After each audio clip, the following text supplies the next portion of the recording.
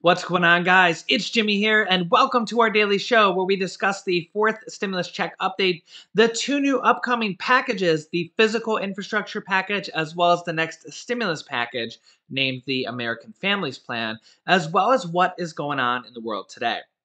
And first off, if you ever wanted to know how much the president and the vice president make, well, today is your lucky day as President Biden and Vice President Kamala Harris have released their 2020 tax returns. Now, keep in mind, this is for 2020 before both of them became president and vice president. President Biden and First Lady Jill Biden reported adjusted gross income of $607,000. Not bad, right? They reported paying $157,000 in federal income taxes for a effective tax rate of 25.9%. The Biden's income was lower in 2020 than it was in their previous year, where they earned an income of $985,000, just under $1 million, and paid a total tax of nearly $300,000 for an effective tax rate of 30%. Much of President Biden's income comes from a corporation named Giacoppa, an entity that Jill Biden uses for book payments and speaking engagements, as well as income from pensions and annuities. Their income also includes $13,000 from her work at Virginia Community College, and they donated $30,000, or about 5% of their income, to charitable donations. However, Vice President Kamala Harris and her husband actually earned more money than the president. Vice President Kamala Harris and her husband Doug Emhoff reported on their 2020 uh, federal tax returns just under $1.7 million, and they paid taxes of $621,000 for an effective tax rate of 36.7%. Ouch, that kind of stings paying over $600,000 in just one year for taxes. Ooh, I can feel the pain on that one. The bulk of their income came from uh, her husband's work as an attorney. This income also included Harris's salary as a U.S. Senator, which is $174,000, which was only 10% of their actual total income. But get this the year before, in 2019, they had an adjusted gross income of more than $3 million in one year. Yeah, yeah, a lot of money. Yeah, let me know your thoughts down below in the comments. Again, this is before they became president and vice president. Speaking of another rich uh, former president, former President Donald Trump signals that he's ready to get back in the game and that he's going to start resuming presidential rallies for his presidential 2024 run, uh, starting as early as next month. As, as it is expected that he's going to officially announce that he's running for presidency for the Republican Party again in 2024. And it's a very good chance that we will be seeing a rematch of former President Donald Trump and current President, President Joe Biden. Let me know your thoughts on who you think will win if we see the exact same rematch. I think uh, the other top Republican candidates is probably Republican Senator Josh Hawley. And who knows, we might see a, a dark horse candidate, maybe like Mark Cuban or uh, something like that. Let me know who you think would be a good Republican candidate if you're a Republican. If you're a Democrat, you're probably like nobody, nobody will be a good Republican candidate, right? Because that's just kind of how uh, how Republicans and Democrats think about each other. Yeah, I know, I get it. Remember how to, about a day or two ago, I announced that um, officials, Florida officials in Palm Beach, are actually preparing for President Donald Trump to possibly be indicted. Well, as you can see here, former President Donald Trump has been sued 29 times now and counting. He's the subject of at least three criminal investigations, and his personal attorney's apartment and offices were raided last month, Rudy Giuliani, and his ex personal lawyer, Michael Cohen, has predicted that Rudy Giuliani will, quote, absolutely turn on former President Donald Trump to avoid a lengthy sentence. Thanks to the last Attorney General, the Biden Justice Department could charge him with obstructing the Mueller, investigation. But the more pressing issue is the criminal investigation by Manhattan District Attorney Cyrus Vance Jr., who, among other things, has Trump's tax returns in hand, and uh, he got that through a um, a court ruling and a trove of documents that could be used against former President Donald Trump in a criminal case. And um, apparently, this this looks like it, it, could be happening actually in the future. I, I don't like to report things that uh, may or may not happen, but I do like to report of what could happen. Right? I, I know it sounds kind of weird, but um, it looks like this this could be happening in the near future. And in fact, the Florida Palm Beach County prosecutor says that the Florida governor, Ron DeSantis, cannot stop former President Donald Trump from getting extradited to New York if he's indicted. So, uh, Florida Palm Beach County prosecutor has actually come out with an official statement on this, um, kind of gearing up because they think there's going to be an indictment of former President Donald Trump. So, uh, yeah, let me know your thoughts on this. You can see it in black and white here. That's why I like to show you guys my sources. I just showed you multiple different sources as uh, this looks to be moving forward. If this happens with a criminal case against Trump, again, this doesn't mean he's guilty. He'll have to defend himself and stuff like that. But uh, it'll be major, major national news. I'm kind of bringing you the news uh, before it's like really, really big news. But if this happens, it'll be like uh, groundbreaking, major national news. Yeah, a former president in in uh, in a criminal case. Yeah, that's that's pretty serious. Regarding stimulus, very good news from the Federal Reserve. The Federal Reserve Central Bank's vice chairman, Clarida, says that the job market calls for continued stimulus and says that there should be at least one more stimulus check or one more stimulus payment, and that the job market and the economy calls for this and it needs to be done. The Fed also went on to say that nearly one in four Americans, or 25% of Americans, ended 2020 worse off financially. And that doesn't even count the first several months of this year, which we know has been very, very bad for millions and millions of Americans. And this calls for at least another stimulus check. In fact, when the third stimulus check came out in March, consumer spending actually had a very good month for retail sales and it was a very good bright spot. However, the April retail sales come out and was completely flat, even though uh, there was still a lot of stimulus going out. And experts are saying that, well, pretty obvious that if stimulus, if the third stimulus check wasn't there, retail sales in April would have actually been negative, which shows Basically, there's no sign of recovery going on or very little. The April jobs report was just as bad or worse, with only 25% of jobs created, which was 75% more expected. The uh, entire US was expected to create over 1 million jobs in April, and yet only created 266,000, down by 75% of what should have happened.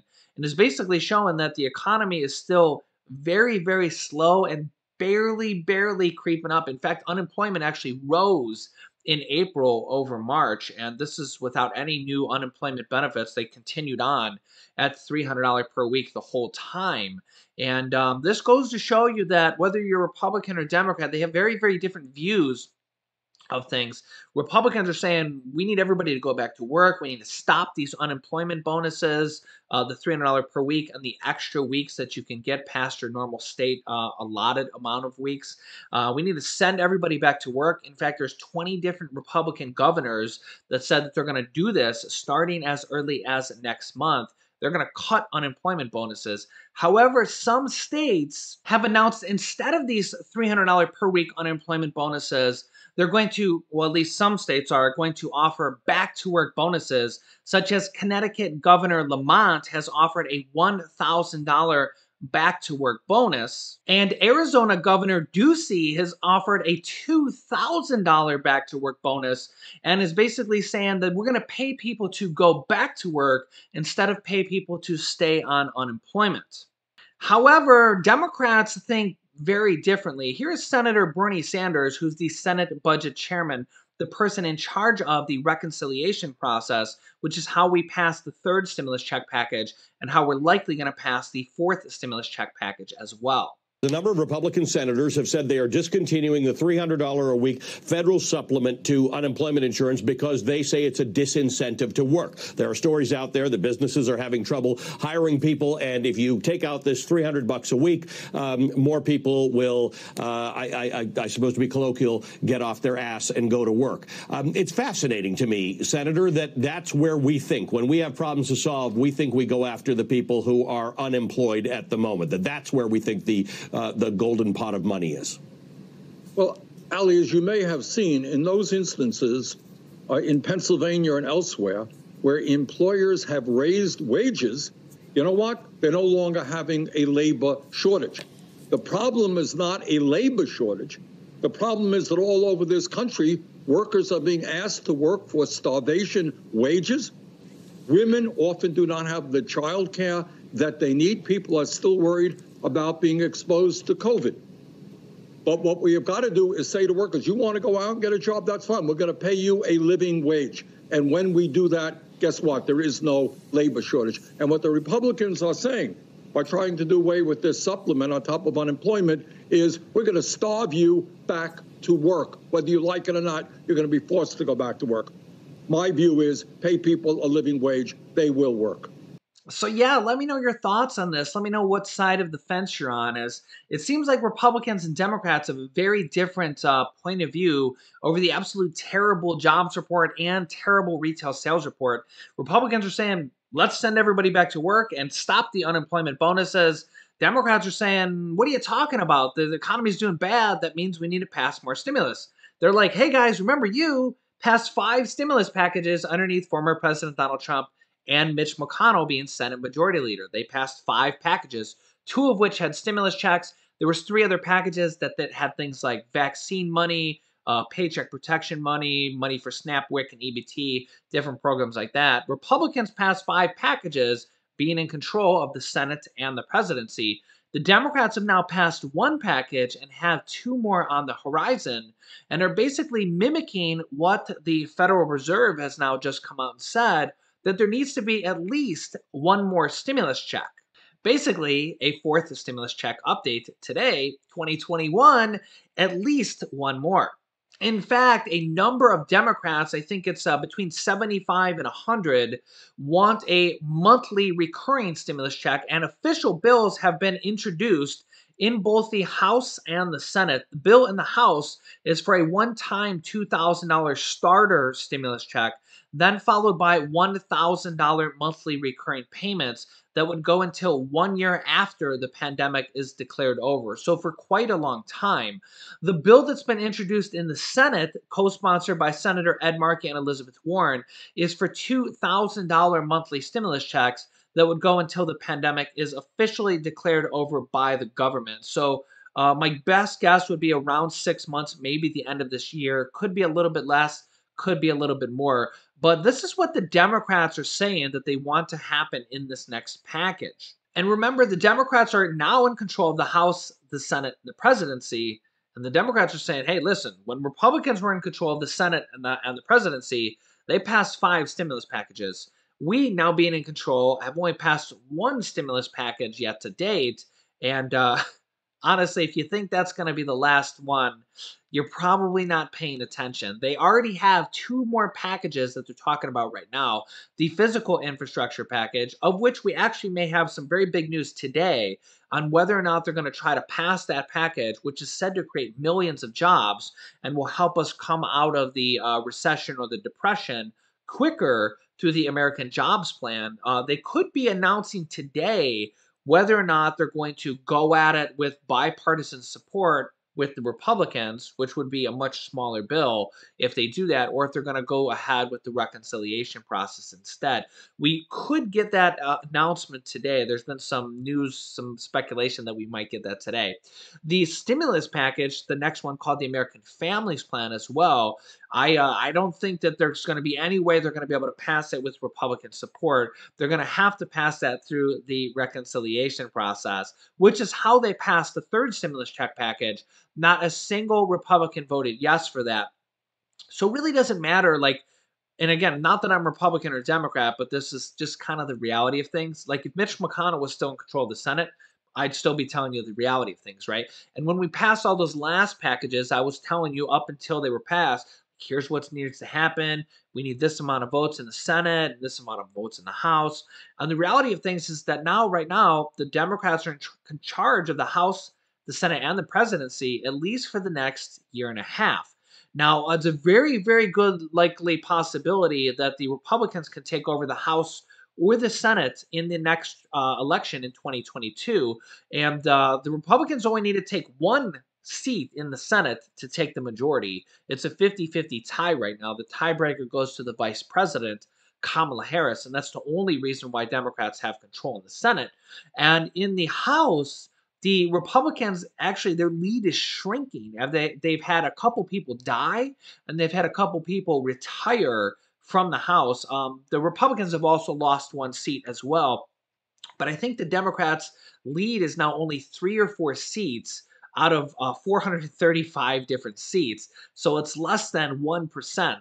So uh, it's very, very, very close. And uh, Senator Bernie Sanders says if they don't do enough for the American people right now, that history shows that uh, the majority party, when they have a total control like this, uh, will not keep their control if they don't do everything that they promise and everything that they expected to do. And that's why we could see a lot in this next stimulus package, the American Families Plan. They're also proposing possible Social Security increases of anywhere from $200 to $279 more per month, or making Social Security a minimum of 125% of the poverty level. That's actually President Joe Biden's plan, which would raise all Social Security beneficiaries to at least $1,341 per month.